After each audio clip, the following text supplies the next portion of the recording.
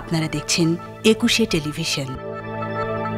গত এক মাসে বাংলাদেশের যে অবস্থান, আমরা দেখলাম যে পরীক্ষার জায়গাটি নিয়ে, নমুনা পরীক্ষার জায়গাটি প্রথম থেকেই নানা আলোচনা, সমালোচনা রয়েছে। গণমাধ্যম কর্মী হিসেবে এই প্রশ্নগুলো প্রতিনিয়ত আপনাদেরকে পেতে হয়, আমাদেরকেও পেতে হয় এবং সুস্থ হওয়া, মৃত্যুর সংখ্যা, আক্রান্তের সংখ্যা, আমরা দেখছিলাম যে বুধবার অর্থাৎ গতকালকেই সবচেয়ে বেশি নমুনা পরীক্ষা হয়েছে।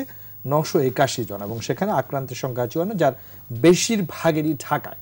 এবং এই যে অবস্থান এই পর্যায়ে আসলে যে পর্যায়ে আমরা আছি আপনি কীভাবে মূল্যায়ন করছেন? দেখেন পরীক্ষা যত বেশি হবে তত বেশি সিকিউর আমরা এটা নিয়ে আর কোনো সন্দেহ দ্বন্দ্বে থাকি না। এটা হচ্ছে একটা ভরসার জায়গা হয় যখন পরীক্ষা হয়ে যায়। পরীক্ষা না হলে যে কোনো রোগ যে কোনো কিছু ডায়াগনোসিস হচ্ছে তার প্রাইমারি ইয়াটা।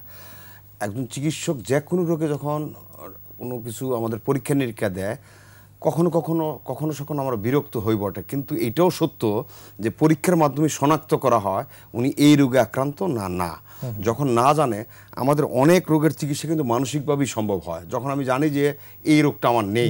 আমি মানসিকভাবে সবল হ্যাঁ। এটা হচ্ছে মানুষের একটা এক- একবারে মানে তার শারীরিক ধর্ম একটা। যেরকম ডাক্তারের কাছে গেলে রোগ অর্ধেক ভালো হয়ে যায়। ডাক্তার কিছু কিছু শব্দ শুনে সামান্য কিছু ওষুধ লিখে দিলে কোনো কোনো রোগ আছে ওষুধ খেতেও হয় না। বা- ভালো হয়ে যায়। ওই যে ডাক্তারের কাছে গেছে ও এই ভরসা পেয়েছেন। এইটা হচ্ছে বিশ্বাস। মানুষের এটা শরীর মজ্জাগত বা মস্তিষ্কের এরকম কিছু সেল আছে যে সজাগ হয় যে বিশ্বাস করে সেরকমভাবে কাজ করে। এখন আমরা যত বেশি পরীক্ষা করতে পারব তত বেশি আমরা সাফল্য অর্থাৎ দ্রুত আমাদের এই সংশয়গুলো আছে সংশয়গুলো থাকবে না।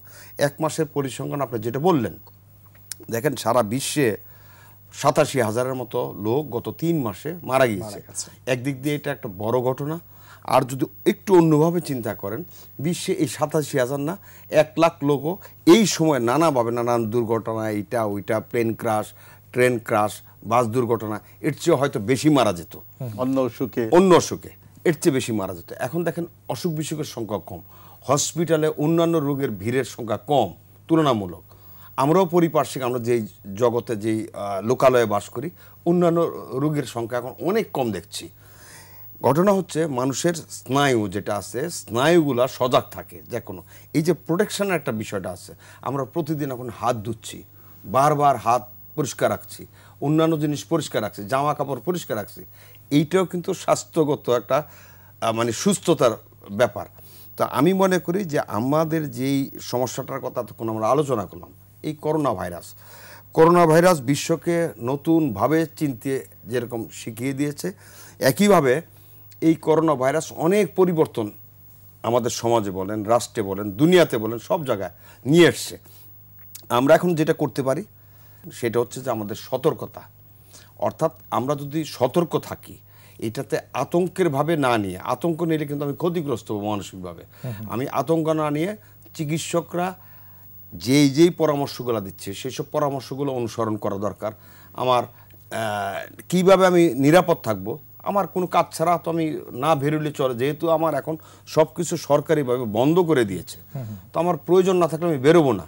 এখন যদি আমি বের হই ঘোরাঘুরি করি, কারোর সংস্পর্শে আসে, যেহেতু এটা ছোঁয়া আছে, একটা অনুজীব, যে ট্রান্সমিশনটা হয় ওইভাবে। সুতরাং এই ট্রান্সমিশনের বাইরে থাকতে হবে আমার। আমি যদি এটা মেনে চলি, আমি যদি আমার হাত কাপড় লতা ইত্যাদি ভালোভাবে সতর্ক থাকে, মুখে মাস্ক ইউজ করি, আমি কিন্তু নিরাপদে থাকতে পারব। আমি কাজে এসেছি, আপনিও কাজে এসেছেন, আমরা যদি নিরাপত্তার সাথে চলাফেরা করি এই ট্রান্সমিশনটা আমাদের মধ্যে হবে না। কিন্তু দুর্ভাগ্য হচ্ছে, আমাদের এখানে যেটা আমাদের বাংলাদেশের মানুষের, এটাও আবার একটা স্বভাবগত, আবেগপ্রবণ মানুষ আমরা। আমরা যখন বিদেশ থেকে লোকগুলা দেশে আসলো, এয়ারপোর্ট থেকে সবাইকে বলে দিলে হলো যে আপনারা হোম কোয়ারেন্টাইনে যাবেন, চোদ্দ দিন থাকবেন। বেশিরভাগ ক্ষেত্রে আমরা থাকিনি। দুই, আমরা যাদেরকে একবারে সাসপেক্ট করা হয়েছে বা কঠোরভাবে বলা হয়েছে, তাদের তাপমাত্রা দেখে, তারা দেখা গেছে প্রথম কয়েকদিন থেকে দেখল যে না তারা এরকম না কিছু ট্যাবলেট খেয়েছে জ্বরের তাপমাত্রা বা জ্বর ছিল একটু কমে গেছে। অন্যান্য উপসর্গগুলো তার কাছে প্রথমে মনে হয় না কিন্তু আলটিমেটলি এটা যে চার দিনে মনে হবে না বা পাঁচ দিনে মনে হবে না এরকম বিষয় না। অর্থাৎ এটার কিছু লক্ষণ আছে।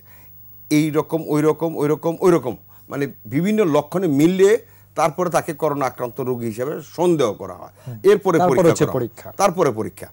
এখন দেখা গেছে তিনি হয়তো আক্রান্ত। তিনি যেহেতু কয়েকটা তার মিলে নাই উনি ব্যামালম ঘুরে বেরিয়েছে।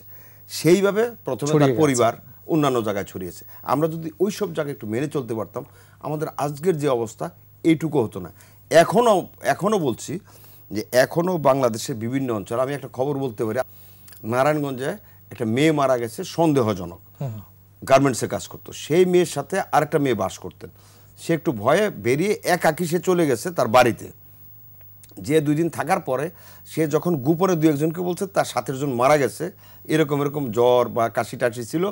এরপরে এটা শোনা এরপরে সে লুকিয়ে গেল। এখন সে যে লুকালো কোনো আত্মীয়র কাছে কোনো আত্মীয়র বাড়িতে উঠছে। আসলে সে সন্দেহজনক হিসেবে সেও লুকাচ্ছে। কিন্তু ঘটনাটা যদি সে বহন করে যদি সে বহন করে তাহলে কিন্তু এটা সকলের হচ্ছে। ছড়ালো। হ্যাঁ স্প্রেড হচ্ছে।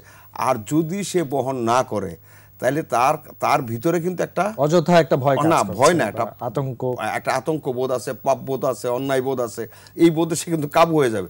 ইভেন কি মারাও যেতে পারে এই বোধ থেকে।